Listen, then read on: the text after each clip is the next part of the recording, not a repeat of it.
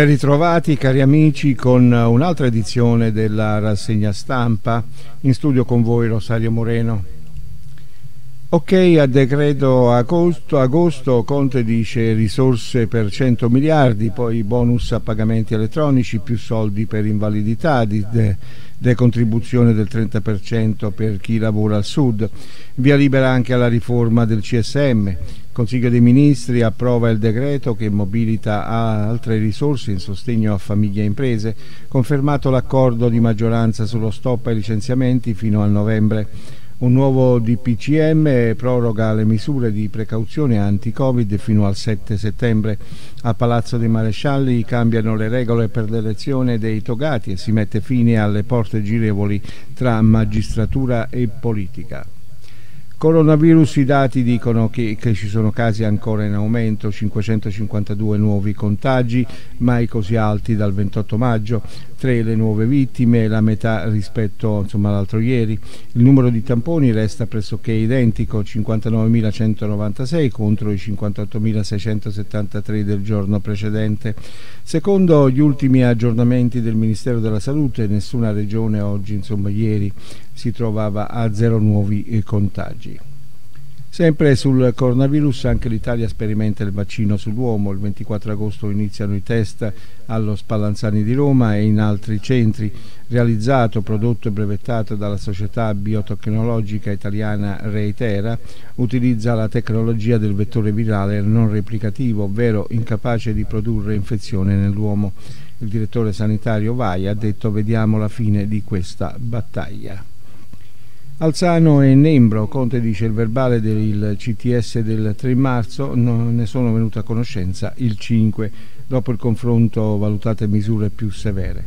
In conferenza stampa insomma, il Presidente del Consiglio ha ricostruito la cronologi cronologia degli eventi che hanno portato alle zone rosse.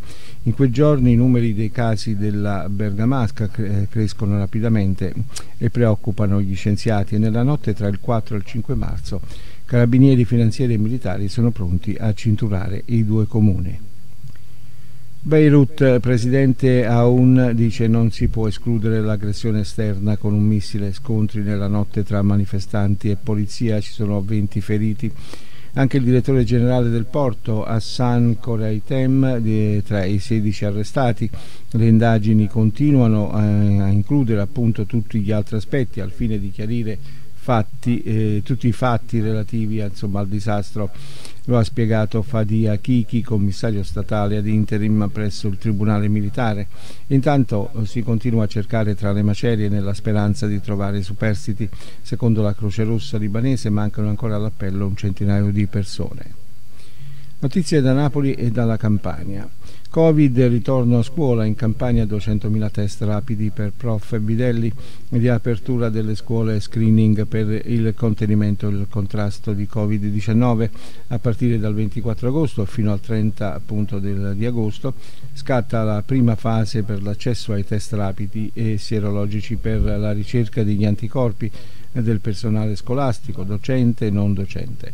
In totale si tratta di una platea di circa 200.000 persone, oltre 166.000 dipendenti pubblici ai quali si aggiungeranno circa 20.000 che lavorano negli istituti privati e paritari. La decisione al termine di una riunione che si è svolta uh, ieri mattina eh, appunto presso l'unità di crisi regionale per la realizzazione di misure per la prevenzione e la gestione dell'emergenza epidemiologica.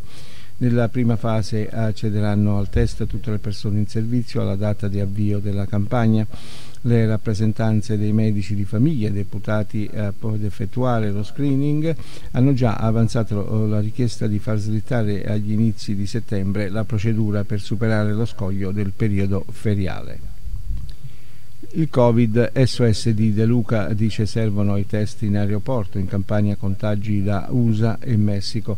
A seguito di segnalazioni di casi di positività rilevati nell'ambito delle attività epidemiologiche dell'ASL della Campania, relativa a cittadini provenienti dagli Stati Uniti, dal Messico e da altri paesi extraeuropei con voli diretti eh, nonché attraverso scali intermedi in altre nazioni europee presidente della regione Campania, De Vincenzo De Luca, ha rappresentato al governo che risulta indispensabile l'inserimento nel DPCM di prossima adozione della previsione di forme efficaci di controlli attraverso tamponi oppure test sierologici direttamente in aeroporto al primo ingresso in Italia al fine di evitare il rischio di contagi. Notizie dalla Puglia. Regionali 2020 il deputato barese Paolo Lattanzio lascia il Movimento 5 Stelle. Il deputato barese Paolo Lattanzio lascia il gruppo parlamentare del Movimento 5 Stelle ad annunciarlo lo stesso Lattanzio su Facebook spiegando in un breve post che la motivazione nota da tempo è legata all'aperto dissenso rispetto alle scelte strategiche di mancato posizionamento in uno schieramento largo di centrosinistra per le elezioni regionali pugliesi. Bollettino coronavirus del 7 agosto, casi in Puglia e provincia di Bari. La Puglia registra 11 nuovi casi di coronavirus nelle ultime 24 ore, su 1908 tamponi effettuati. I dati del bollettino epidemiologico di venerdì 7 agosto confermano dunque la ripresa dei casi positivi a cui si assiste già da qualche giorno. Dei nuovi contagi, 5 riguardano la provincia di Bari e 3 rispettivamente il Foggiano e la provincia di Lecce non si registrano nuovi decessi. Notizie da Treviso e dal Veneto. Consulto oncologico a Castelfranco in, eh, invertono gli esiti tra pazienti. Dallo Iova a Trieste spedito il CD di un altro paziente vittima dello scambio Roberto Pinto. L'errore in radiologia, l'URSS, eh, l'URSS si scusa. Pieve di Soligo punta a diventare capitale italiana della cultura. Il comune spera di entrare nella lista di 10 finalisti per il 2022. Se ci eliminano tifere, eh, tiferemo Verona, così hanno detto. Le città in concorso sono 28, Belluno e Feltro non hanno rinnovato la candidatura. San Fior contro tra camion e smart sulla Ponte Bana muore una ragazza, la piccola utilitaria è stata schiacciata dal pesante automezzo un'altra ragazza è rimasta ferita ed è in gravi condizioni. Focolaio di coronavirus nella caserma dei migranti a Treviso, parla il titolare della COP e dice siamo ostaggio di 10 facinorosi. Gian Lorenzo Marinese di Nova Facility, dopo le accuse della politica sulla gestione del centro di accoglienza, ha detto alcuni ribelli ci impediscono di attuare il distanziamento, ma la verità è che l'URSS a giugno, dopo i primi casi, poi ci aveva definiti covid free, invece il virus da lì non è mai uscito. Treviso a 90 anni mette in fuga e fa arrestare truffatore, si era introdotto in casa dall'anziana con la scusa di leggere il contatore. Lei lo ha fatto allontanare e poi ha chiamato la polizia. Notizie dal Friuli Venezia Giulia. Alla Cavarzerani è arrivato l'esercito, rinforzi grazie all'operazione Strade Sicure per proseguire il pattugliamento dell'ex caserma in quarantena fino al 15 agosto. Hanno preso servizio venerdì sera gli uomini dell'esercito destinati a supportare le altre forze dell'ordine, carabinieri, polizia di Stato, guardia di finanza e polizia locale, oltre ai volontari della protezione civile civile schierati al presidio dell'ex caserma Caverzarani.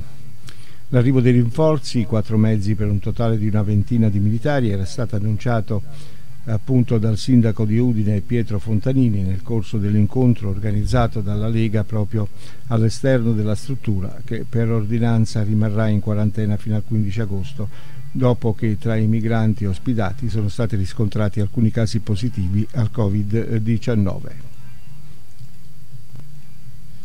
Coronavirus un positivo e 6 in quarantena a Tarcento. A dare la notizia alla comunità attraverso l'app del municipio della Perla del Friuli è stato lo stesso sindaco Mauro Steccati. Dopo settimane covid free a Tarcento si è registrata una positività al coronavirus. Lo ha reso noto attraverso l'app ufficiale eh, Municipium il sindaco Mauro Steccati che ha voluto informare nella massima trasparenza la comunità. Coronavirus sono sette positivi a Brugnera, si tratta di residenti rientrati da viaggi in Romania e in Moldavia, già messi in quarantena. Salgono i casi di coronavirus registrati a Brugnera. Nell'ultima settimana infatti sette persone sono risultate positive al tampone, un aumento improvviso ma per il quale non si può parlare ancora di focolaio. Si tratta, spiega il sindaco Renzo Dolfi, di eh, persone residenti, precisamente due nuclei familiari più un single, di origine rumena o moldava rientrati dopo un viaggio nella, nei loro paesi si trovavano già tutti in quarantena. Sottolinea questo il primo cittadino, come previsto dall'ordinanza del ministro Roberto Speranza, che per chi rientra da stati considerati a rischio. Capriolo in spiaggia, Bagliante si infortuna al collo, è successo nel tardo pomeriggio a Lignano all'altezza dell'ufficio spiaggia numero 11. Eh, un bagnante ha fatto una capriola sull'arenile ma è caduto male e ha riportato una lesione al collo.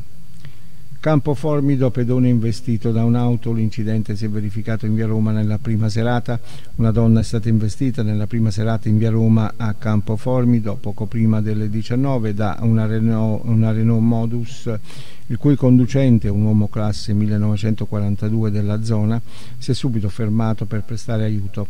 Le cause sono in corso di accertamento da parte dei carabinieri della compagnia di Mortegliano che sono intervenuti dopo l'allarme per i rilievi e la viabilità. Bene cari amici, con questo è tutto, termina qui questa edizione della rassegna stampa, in studio con voi Rosario Moreno, buon proseguimento con la programmazione.